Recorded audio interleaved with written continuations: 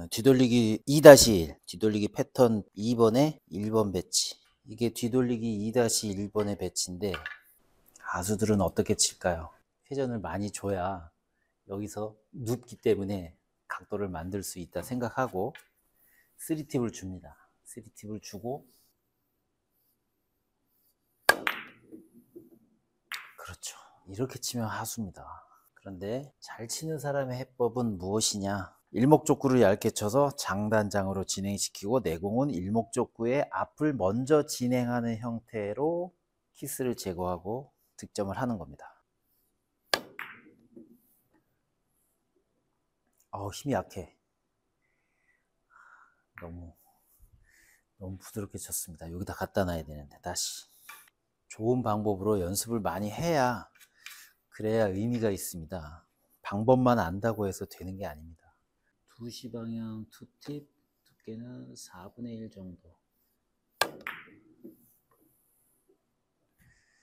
이번엔 노란 공도 나쁘지 않을 것 같은데 빨간 공이 조금 많이 이동했네요. 그래도 이 정도면 나쁜 배치는 아닙니다. 연속 득점을 할 수 있습니다. 자 그렇다고 해서 이게 결코 쉬운 배치가 아니기 때문에 빨간 공 여기 여기 놓고 흰 공 공의 위치를 이렇게 다시 연습할 수 있도록 정확하게 표시를 해 놓고 실패하면 다시 쳐보겠습니다. 자, 이게 득점이 되려면 여기서부터 여기 사이에 들어와야 됩니다.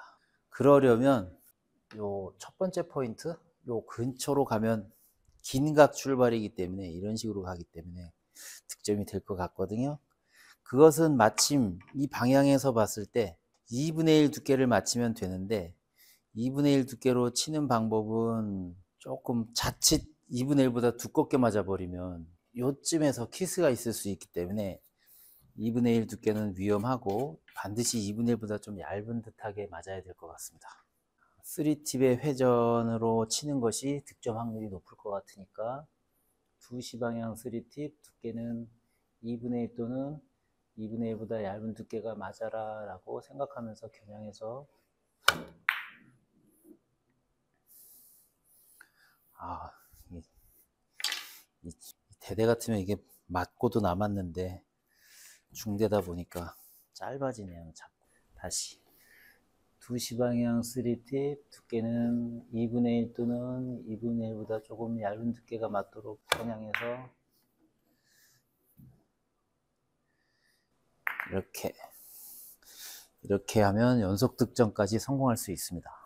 이것이 뒤돌리기 2-1번의 해법이었고요.